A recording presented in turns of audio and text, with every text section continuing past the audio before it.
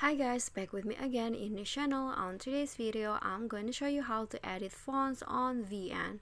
So if you guys adding a text on your video on VN, so like this one right here, I've already added a text on my video and you want to add the font what you need to do is you can just click on the fonts or on the text and you'll find the uh, settings at the bottom. They are style font color align and history.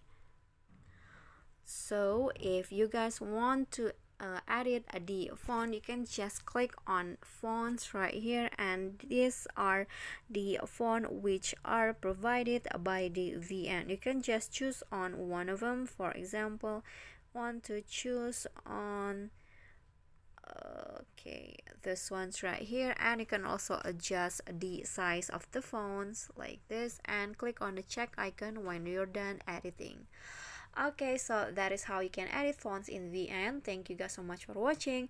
Please do click on the thumbs up thumbs up icon and subscribe our channel. See you guys in the next tutorial. Bye bye